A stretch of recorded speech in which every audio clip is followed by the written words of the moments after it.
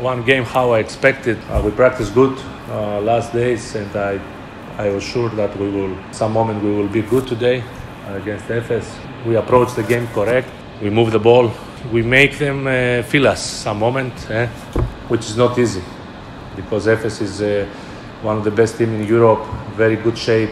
They make great job, and they deserve uh, congratulations, not only for today but uh, for their whole season so far, especially in EuroLeague. For us, it was one game that uh, we knew it will be tough from beginning.